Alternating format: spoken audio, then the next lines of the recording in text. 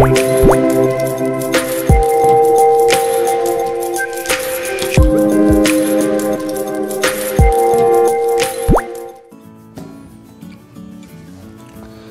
everyone, this is Phani. You are watching Phani EHS Info. Today I am going to talk about machinery safety. Introduction Hazards of machinery, causes of machinery accidents, hierarchy of machinery safety controls, machine guards, and safety instructions for handling of machines inside this presentation. Introduction The use of machinery is a result of technological advancement that enables people to save manpower and enhance productivity. The misuse of machinery would create potential safety hazards that may cause accidents, injuries, or even death. Hazards of machinery The common mechanical hazards associated with for machinery and equipment are rotating shafts, pulleys, sprockets, and gears, which may result entanglement. Hard surfaces moving together which results crushing. Scissors or shear actions which results cutting. Moving or stationary objects which results pinching. And dust or waste which results spillage of tiny particles. The causes of machinery accidents are unauthorized machine unauthorized machinery operation lack of sound guarding device, poor machine design, non-compliance with safety rules and guidelines, operating with bare hands without auxiliary tools, untidy, unclean or crowded work site, objects on the body such as accessories, long hair or loose fit overalls are rolled and entangled without using proper personal protective equipment and poor illumination. The hierarchy of mechanical safety controls. The first step elimination which means inherent safety design. Second step engineering control which covers guards, barriers, safeguards, devices etc. Next one administrative control which means trainings, LOTO system inspections etc. and uh, PPE examples protective clothing, eye protection, earplugs etc. Let me brief this hierarchy of mechanical safety controls. The first one elimination or substitution, inherently safe design.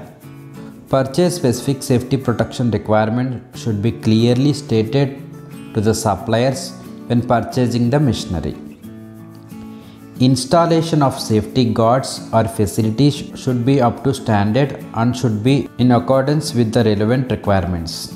Second control engineering controls which means machine guards. Machine guards are the primary line of defense between workers and their machines. Any machine part, function or process that may cause injury must be safeguarded. Guard must be secured, protect from falling object and create no new hazards. Let us see some of the requirements for safeguards. First one prevent contact. Prevent workers body or clothing from contacting hazardous moving parts. Second one secure. Firmly secure to machine and not easily removed. Third one protect from falling objects Ensure that no objects can fall into moving parts. Fourth one, create no new hazard. Must not have shear points, jagged edges or unfinished surfaces. Fifth one, create no interference. Must not prevent workers from performing the job quickly and comfortably.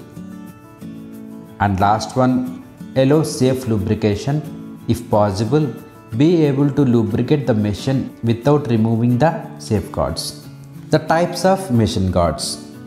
There are mainly five types of machine guards. They are guards, devices, machine or location distance, feeding and ejection methods, and miscellaneous aids. There are different guards.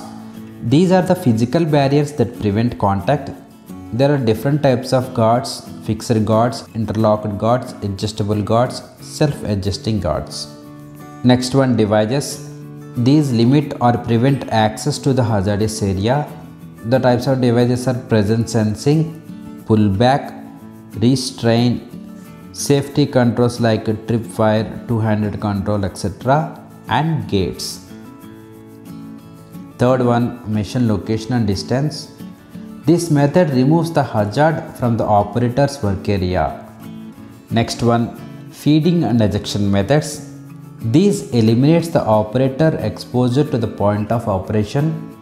The types of feeding ejection methods are automatic and semi-automatic feed and ejection methods and robots.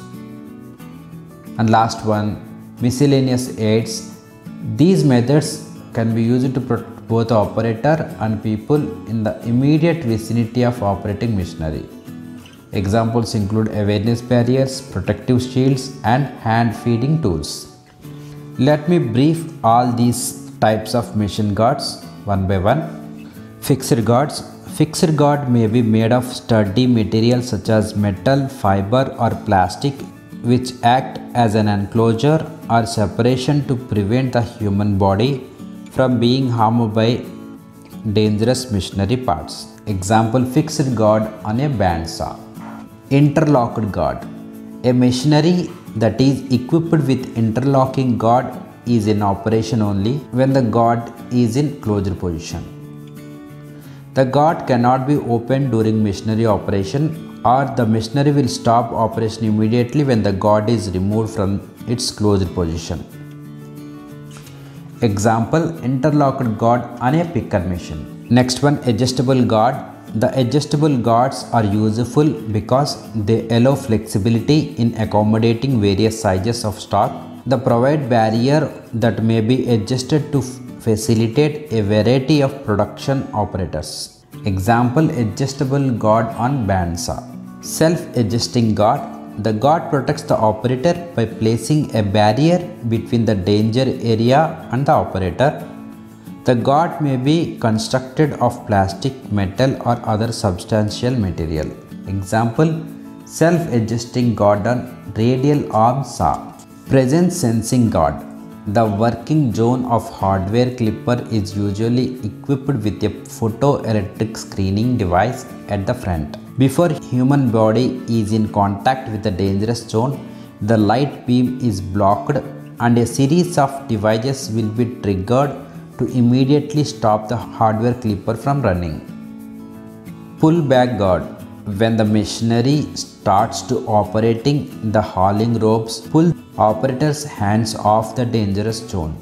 When the machinery starting operating, the swiping lever helps eliminate risks by swiping across the dangerous working zone and pushing aside the operator's arm. If the operator or any worker falls down and loses balance or is dragged into machinery, it can be stopped by pushing it can be stopped by pushing the safety lever. Example pull back device on power press. Restraint guard. The restraint which means hold out device uses cables or straps that are attached to the operator's hand at fixed point.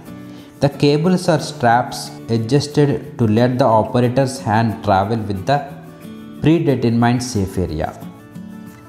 Safety controls Two hand control device should be equipped with a timer such that the operation routine cannot be turned on unless all control buttons are pressed at the same time.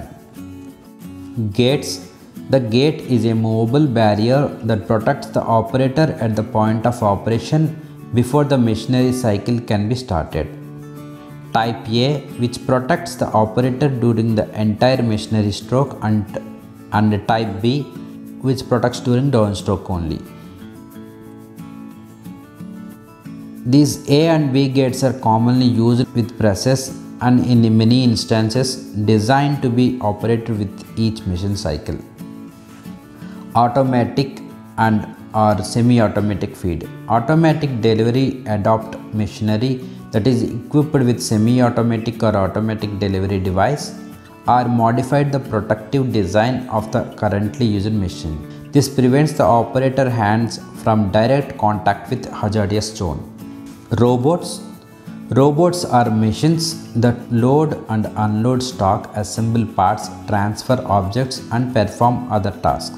Robots are used for replacing humans who are performing unsafe, hazardous, highly repetitive functions as mentioned above.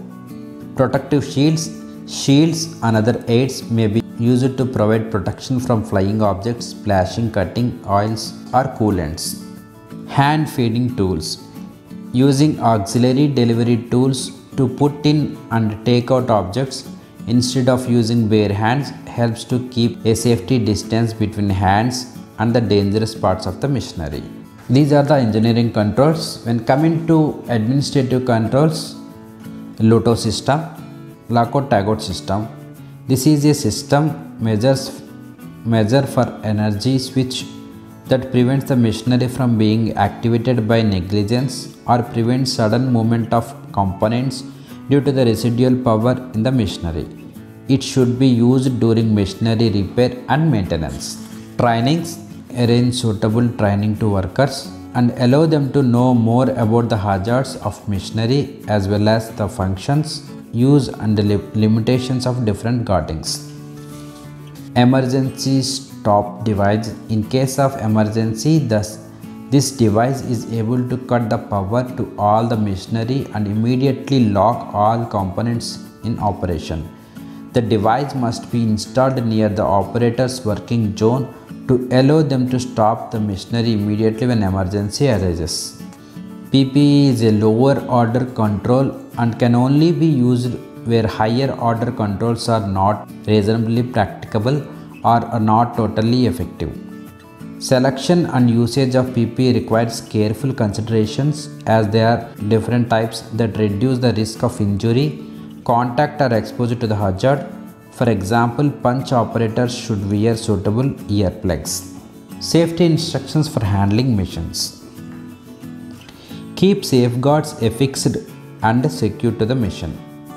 If there is a problem with the guard, stop operation and promptly tell your supervisor. Never leave work area while parts are moving. Don't allow guards or falling objects to create pinch point hazards within the moving parts. Only operate machine with guards in place.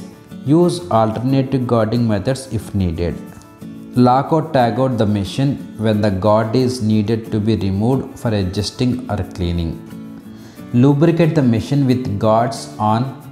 If removal is needed, shut down, lock out and keep a safe distance away. If you are unfamiliar with machine safety or and proper guard use, get supervision involved to assist you. Do not operate the machine if the guards are damaged, missing or provide inadequate protection. And long hair, gloves and loose clothing are entanglement hazards and should kept away from machinery. This is about machinery safety. Thanks for watching and have a safe day.